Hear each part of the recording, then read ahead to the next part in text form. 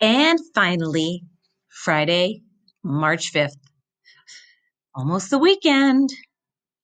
So we're going to start with lesson 16. And this means we're starting a new topic. And we're going to use the number bond to decompose the difference. So we're adding and subtracting.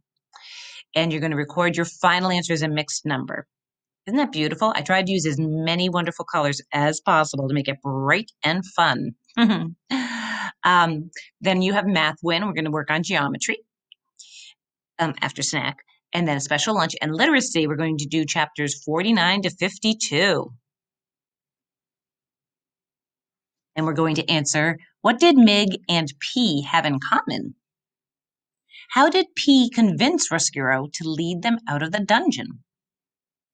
Why didn't Botticelli want to eat Despereaux any longer? And give some examples of forgiveness from this story. And find three new words. For writing, we're going to analyze the beginning. Read this opening sentence from Wonder.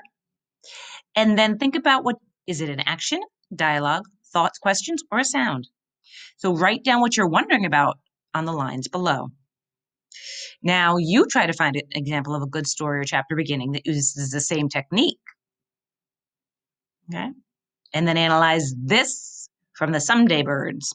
And what is that strategy that's used? This is from Moo. And this is from the 13th floor, A Ghost Story. And then you can make up your own. So that's what we're going to work on. Um, and again, the menu for beginnings is what you had um, to help you. A reference page to help you do your work. After writing and recess, for science, you're actually going to use your, the flashlights that you made yesterday to use Morse code to communicate and using Morse code with a flashlight to um, make a message and write to them. Say something to your um, classmate. And then it's the weekend. So we hope you had a very nice week and have a wonderful weekend. And we'll see you on Monday. Bye.